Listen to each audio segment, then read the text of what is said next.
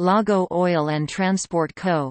Limited had its beginning in 1924 as a shipping company carrying crude oil from Lake Maracaibo to its transshipment facility on the island of Aruba.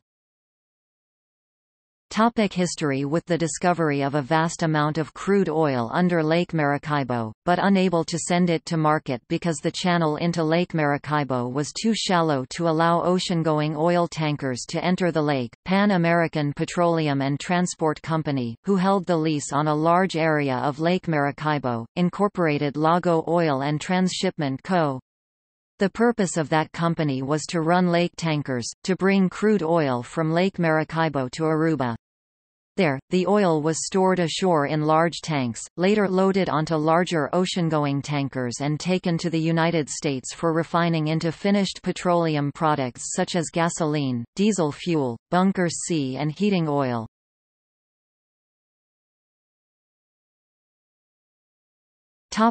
Refinery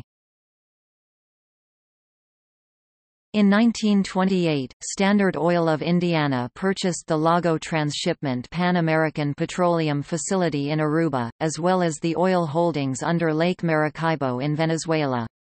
Standard Oil of Indiana then began to build a small refinery next to the transshipping facility port.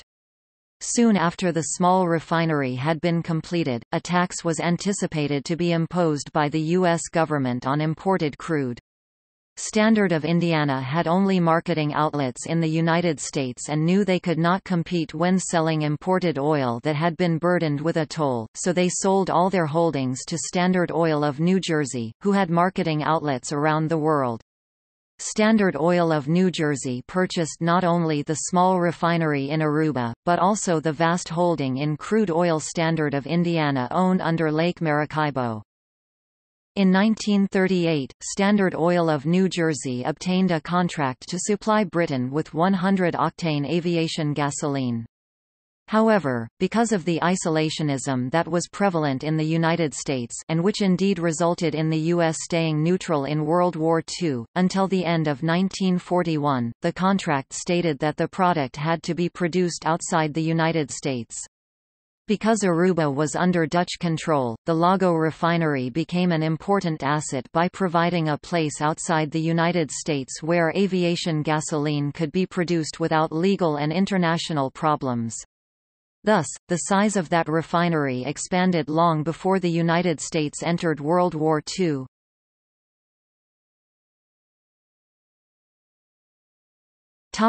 Wartime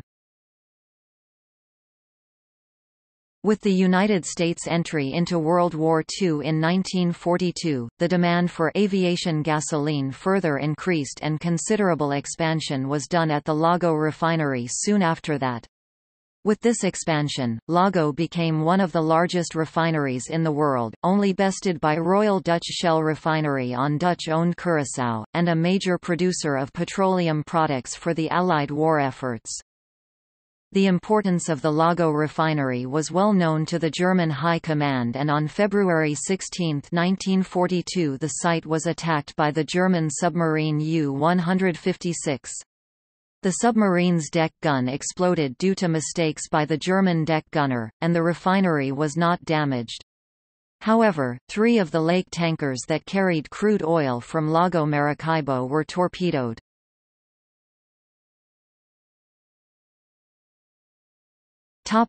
Post-war When demand for gasoline was high after World War II, the Lago refinery was running at full capacity and employed over 10,000 personnel.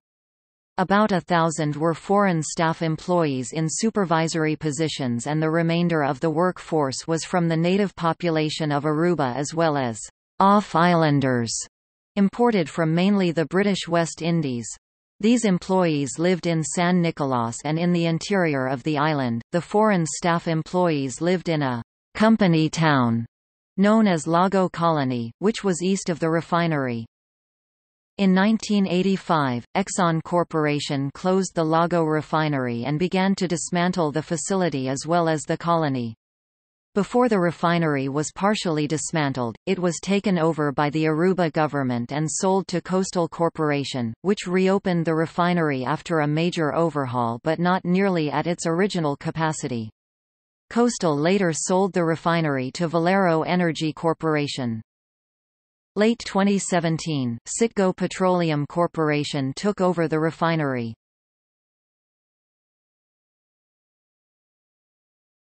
Topic. See also. Lake tanker Lago colony